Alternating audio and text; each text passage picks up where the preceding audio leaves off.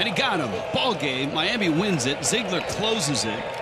And the Fish, after two frustrating losses here in Atlanta, use the long ball for a 4 1 win. We wrap it after this.